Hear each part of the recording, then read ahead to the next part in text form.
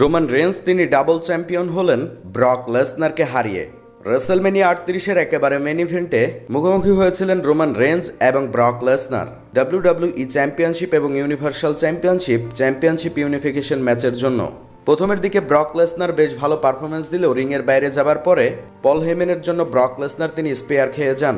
রিংয়ের মধ্যে আসেন আরও একটি স্পেয়ার খান তবে পিন করলে সেইখানে ব্রক লেসনার কিক আউট করেন। এরপরে ব্রক লেসনার একটানা পাঁচটি সুপ্লেক্স মেরেছিল রোমান রেন্সকে এছাড়াও শুধুমাত্র একটি এফ ফাইভ মেরেছিল ব্রক লেসনার রোমান রেন্সকে তবে পুরো ম্যাচ জুড়ে ব্রক লেসনার বেশ ভালো কন্ট্রোল নিলেও কিন্তু রেফরিকে যখন আঘাত করল স্পিয়ারের মাধ্যমে, ব্রক লেসনারকে স্পিয়ার মারলে রেফরির গায়ে গিয়ে আঘাত লেগেছিল, এটার জন্য রেফরি তিনি কিছুক্ষণ পড়েছিলেন। আর সেটারই ফায়দা নিয়ে একটি লোভলো মারেন, এছাড়াও টাইটেল হিট করেন।